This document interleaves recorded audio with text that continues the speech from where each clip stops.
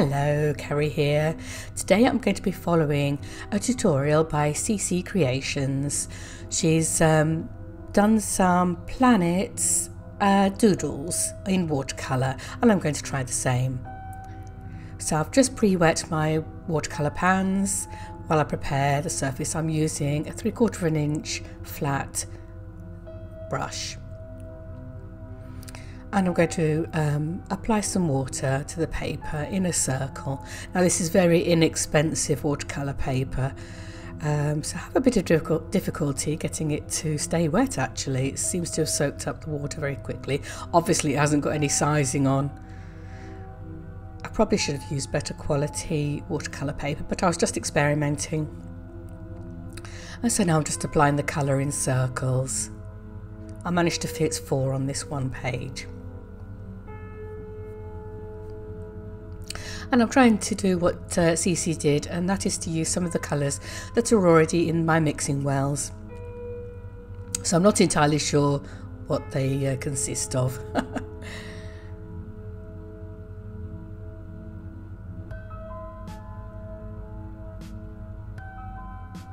then I managed to fit the fourth one in there. I probably could have squeezed another five, uh, another fifth one in, but I didn't.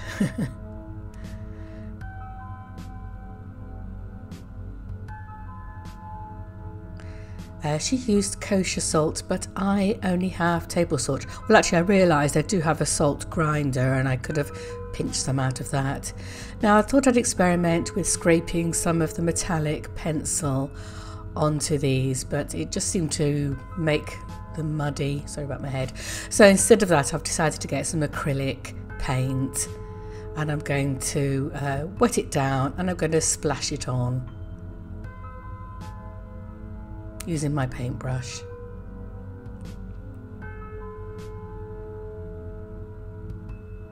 And then I'm going to apply some of the paint to the circles as well. You can't really see the sheen until you move the paper around, which I'll do at the very end.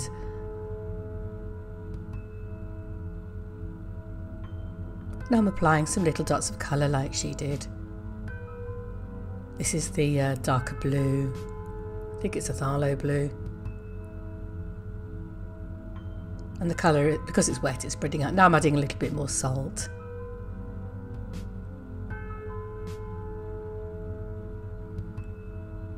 Adding the uh, purple there. I like the way the watercolour does its own thing. I'm re-wetting this circle and I'm adding some more colour to that one as well.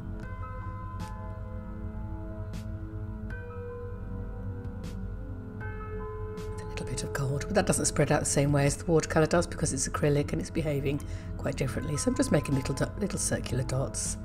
It's quite hard to do with a square paint, uh, paintbrush. and it's uh, been outside to dry because it's a sunny day and I've got this Uniball Sigma pen, uh, pen and I'm drawing some circles. There we go, Uniball Sigma. I'm going to draw some circles on the darker areas of each circle. So it's all about circles.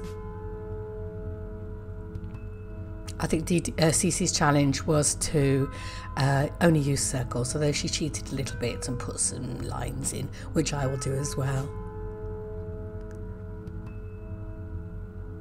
And I'm beginning to think mine look more like donuts than planets. But never mind. They won't do when I've finished.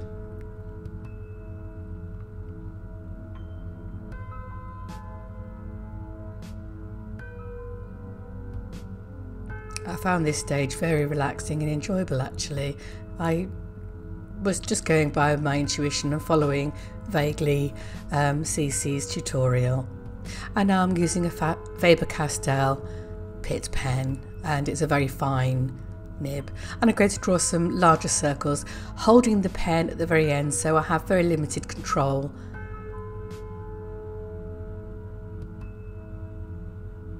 I'm doing various sizes as well. And now I'm drawing some little circles and dots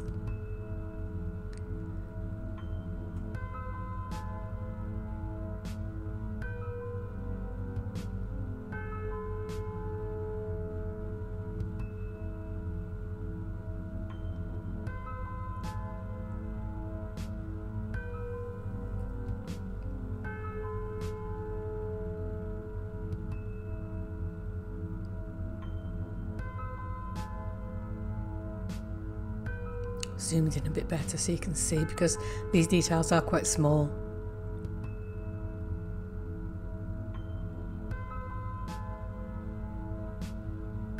And a Posca pen. It's actually ivory in colour, but because I've used it on some other paint, the nib has actually picked up some colour and it's quite nice actually. You can't see it too well on there, but on the white paper it comes out as blue. So I'm quite pleased about that actually. Happy accidents. Eventually the blue clears off and I begin to get more of a cream. There we go. It's cleaner now.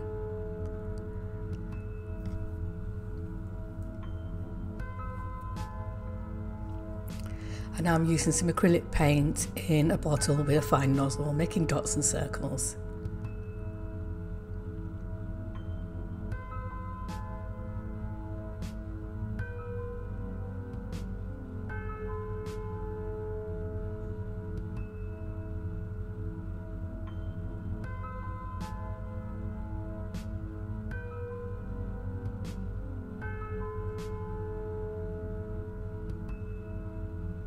Go around the circles again.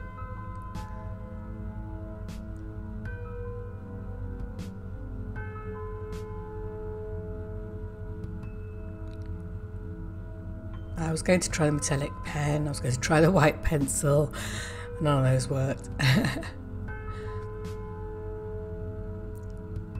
so I decided to do a few lines like CeeCee did. I really quite like those actually. Some there.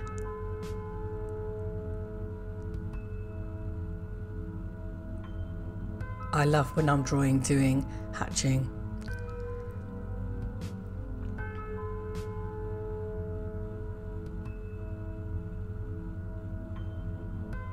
And now I'm doing some little dots with the gold acrylic and a finer paintbrush. brush.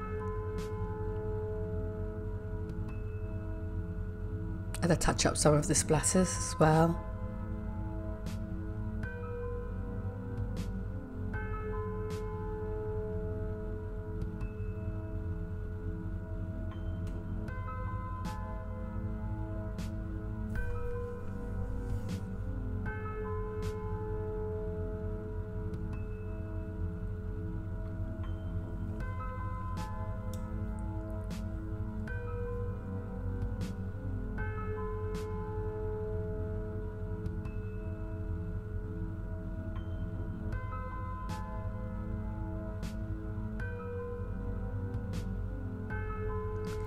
I'm drawing around some of the areas that look as if they're circles.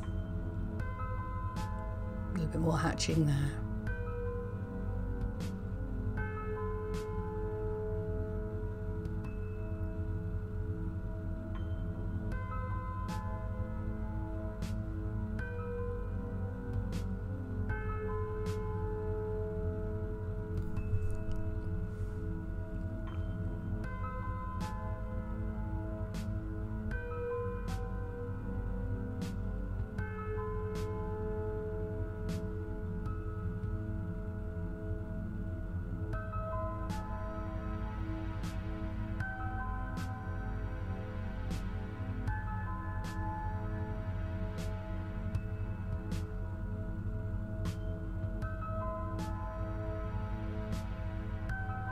Decided to touch up that bottom left hand one, it's a bit dull, so I've introduced some more colour.